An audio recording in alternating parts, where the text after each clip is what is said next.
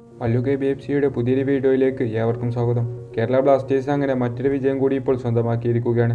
Kerala Blasters Odisha F സിയെ എതിരില്ലാത്ത ഒരു ഗോളിനാണ് ഇപ്പോൾ പരാജയപ്പെടുത്തിയിട്ടുള്ളത്. മത്സരത്തിന്റെ അവസാന പതിനഞ്ച് മിനിറ്റിലായിരുന്നു കേരള ബ്ലാസ്റ്റേഴ്സ് ബ്ലാസ്റ്റേഴ്സിന്റെ ആക്രമണ ഫുട്ബോൾ ശൈലി പുറത്തെടുത്തിട്ടുണ്ടായിരുന്നത്. മാത്രമല്ല കേരള ബ്ലാസ്റ്റേഴ്സ് അവസാന നിമിഷങ്ങൾ വരുത്തിയിട്ടുള്ള ടീമിലെ മാറ്റങ്ങളൊക്കെയാണ് ബ്ലാസ്റ്റേഴ്സിന് വിജയിക്കുന്നതിൽ പ്രധാനപ്പെട്ട പങ്കു തന്നെ വഹിച്ചിട്ടുണ്ടായിരുന്നത്. കേരള ബ്ലാസ്റ്റേഴ്സിന്റെ മുന്നേറ്റ നിരയിൽ നിഹാലിനെയും അതോടൊപ്പം തന്നെ ബ്രേസ് മിറാൻഡയൊക്കെ കൊണ്ടുവന്നത് കൊണ്ട് തന്നെ കേരള ബ്ലാസ്റ്റേഴ്സ് വീണ്ടും ആക്രമിച്ച് കളിച്ചു തുടങ്ങി. നിഹാലൊക്കെ വളരെ മികച്ച രീതിയിൽ തന്നെയാണ് ഇപ്പോൾ കളിച്ചുകൊണ്ടിരിക്കുന്നത് മാത്രമല്ല ബ്രേസ് മിറാണ്ടയുടെ അസിസ്റ്റിലൂടെയായിരുന്നു സന്ദീപ് സിംഗ് ഗോൾ നേടിയിട്ടുണ്ടായിരുന്നത്. അങ്ങനെ മികച്ച നല്ല രീതിയിലുള്ള മുഹൂർത്തങ്ങൾ അവസാന പതിനഞ്ച് മിനിറ്റിൽ കേരള ബ്ലാസ്റ്റേഴ്സിന്റെ ഭാഗത്ത് നിന്ന് കാണാൻ സാധിച്ചിട്ടുണ്ട്.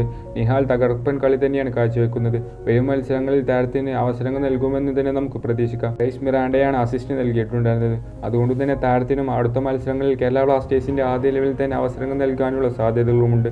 മാത്രമല്ല കേരള ബ്ലാസ്റ്റേഴ്സിന്റെ ഓസ്ട്രേലിയൻ താരമായ പോസ്റ്റുലോ ഗ്യാനോ മികച്ച രീതിയിൽ തന്നെ കളിച്ചിട്ടുണ്ടായിരുന്നു. താരത്തിന്റെ ഭാഗത്ത് നിന്ന് നല്ല രീതിയിലുള്ള കളി തന്നെ കാണാൻ സാധിച്ചു.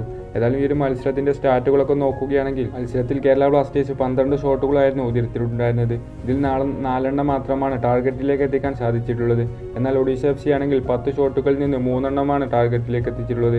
കേരള ബ്ലാസ്റ്റേഴ്സിന്റെ അവസാന പതിനഞ്ച് മിനിറ്റ് തന്നെയാണ് എടുത്തു പറയേണ്ടത്. ഏതായാലും കേരള ബ്ലാസ്റ്റേഴ്സിൽ അവസരങ്ങൾ ലഭിച്ച നിഹാലിന്റെയും ബ്രേസ് മിറാണ്ടയുടെയും പ്രകടനത്തെക്കുറിച്ചൊക്കെയുള്ള നിങ്ങളുടെ ഒപ്പീനിയനൊക്കെ ജസ്റ്റ് ഒന്ന് കമന്റ് ബോക്സിൽ അറിയിക്കുക. അതോടൊപ്പം തന്നെ ചാനൽ ഇഷ്ടപ്പെടുകയാണെങ്കിൽ ഒന്ന് സബ്സ്ക്രൈബ് ചെയ്ത് സപ്പോർട്ട് ചെയ്യാൻ ശ്രമിക്കണം. അപ്പോൾ നമുക്ക് മറ്റൊരു ഐ എസ് എൽ അപ്ഡേഷനുമായി നമുക്ക് വീണ്ടും കാണാം.